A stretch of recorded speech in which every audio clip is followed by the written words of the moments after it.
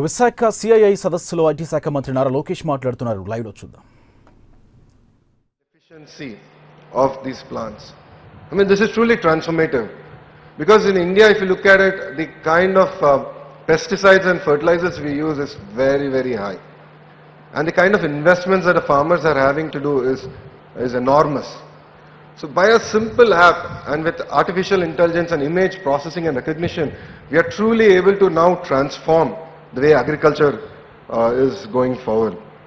You know, in this background, I strongly believe that India now needs to skill up. I strongly believe that Java is just now a cup of coffee. It's no longer a programming language. Things are changing radical.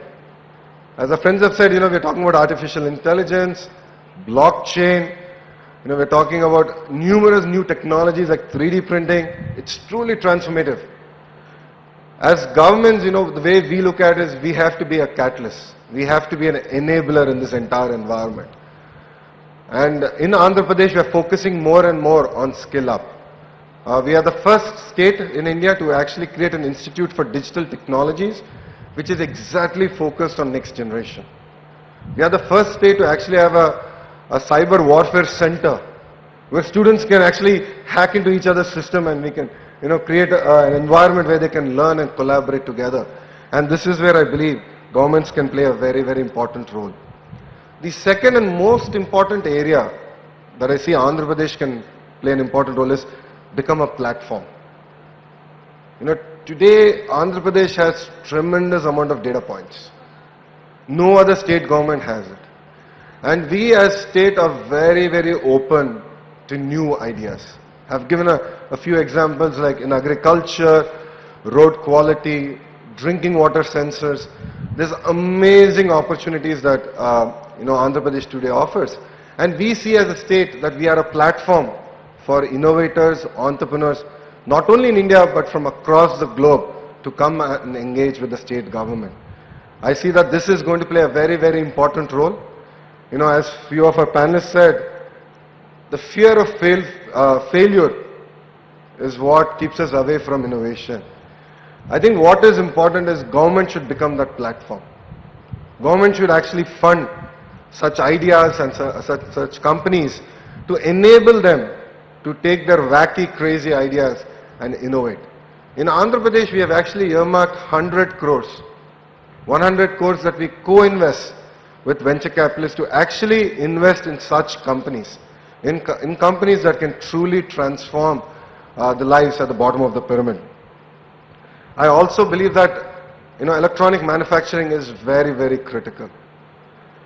You know, we've ha- we have the software nailed, we have the analytics nailed, and we now need to get manufacturing. Under, um, you know, the program of Government of India, which is Make in India, you know, we've sort of tweaked it and we said Made in Andhra Pradesh. So the, we have given great, great push into electronic manufacturing. You know, 2014 when we were a new state, our contribution to mobile phone manufacturing was zero. Absolutely zero. In three years flat, our contribution today is 20%. And we've just signed an MOU with Reliance Jio, where 80%, 80% of their requirement is actually going to be manufactured in the state of Andhra Pradesh. And this is not just about mobile phones anymore. You know, this is not about set-top boxes. It's about creating the next generation IoT devices.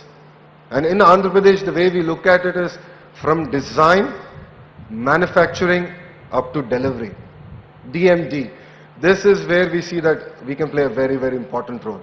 We are working extremely hard to create a conducive environment.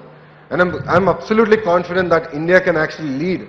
You know, not only lead, but actually show the way for the world on how to adopt Industry 4.0.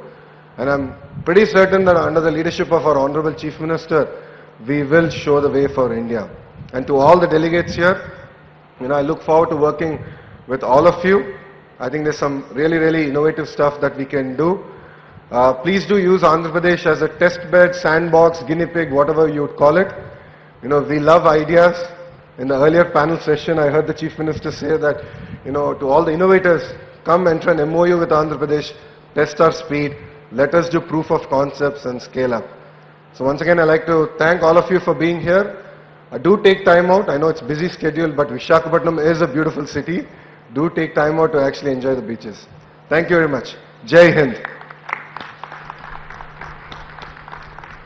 Thank you so much. Uh, I think um, your your actions speak louder than your words, even though your uh, words are, are full of power. Uh, as you know that my book, it's called Kranti Nation. It was presented at Davos. And I call it Kranti Nation because Kranti, the word means revolution uh, in, in Sanskrit. Um, and it's and I've created a, a acronym for it. It's knowledge, research, and new technology in India, which is Kranti. And I'm, I think I can say very, very confidently that uh, Andhra Pradesh, under Honorable Chief Minister and you, is leading Kranti Nation in India. Thank you so much uh, for, for sharing your thoughts. And thank you all of you for being in this session. We have to end this and the next session will begin. But please join me in thanking the panelists and the Minister for sharing their views. Thank you very much to all our panelists and thank you Pranjal for being such a um, amazing moderator. It was an extremely well moderated session, some amazing point of views and extremely enriching session as well. Ladies and gentlemen, please be seated. We